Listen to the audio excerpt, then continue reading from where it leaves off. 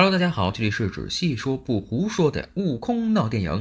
今天呢，要和大家介绍超级恶搞电影《精神奸笑》系列的第三部。一开场，在一个郊外的农场，出现了很多奇异的现象，动物们仿佛都成精了一般，玉米地也出现了奇异的形状。这一事件呢，被身为主播的女主辛迪报道了。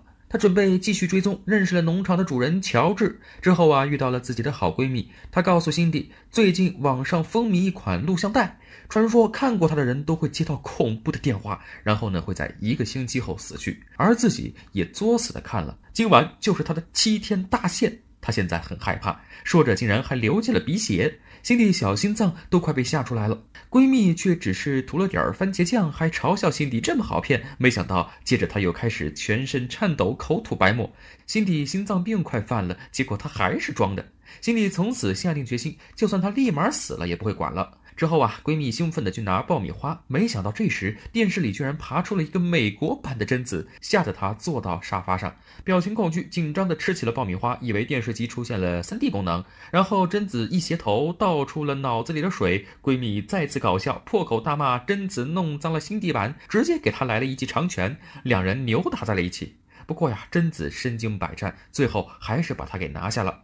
之后，辛蒂着手调查那卷录像带的事儿，自己又作死的看了一遍，然后真的接到了恐怖的电话。接着，他找来朋友乔治，也就是家里农场出现怪圈的人来照顾侄子，自己赶紧去找最早看过这卷录像带的幸存者，也是一个可以预测未来的先知。发现画面中有一个灯塔，十分奇怪。或许啊，是揭开录像带秘密的关键。不过还没去找灯塔呢，先知就和贞子打了起来。这也是他为什么能够逃避诅咒的原因。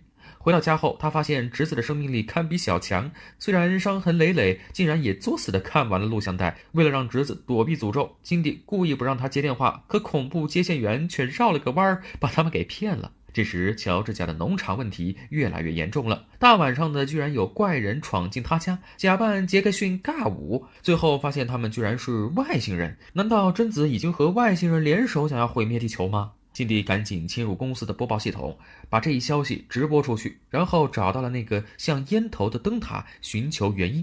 可里面却只有一个非常喜欢偷窥的怪老头，在全世界都装上了监控系统。而那个贞子就是他领养的女儿，天生就很邪恶。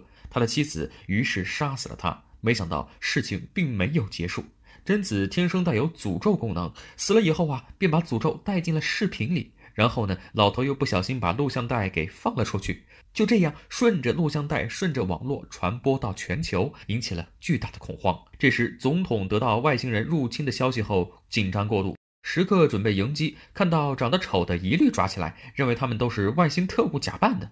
另一边，辛蒂等人也联合到了一起。经过一番混战，他们终于发现，外星人不是要来毁灭地球，而只是想要除掉贞子这个祸患。原来呀，他们所有人在几天前通过卫星直播看了那段视频，如果不除掉贞子，他们整个星球都要灭亡了。终于，辛迪找到了贞子死亡的井口，贞子也立马出现，开始表演电锯杀人魔的舞蹈。辛迪想要用真情感化她，把她变回善良的小女孩，可无奈呀，贞子天生就是个变态呀，继续追杀他们。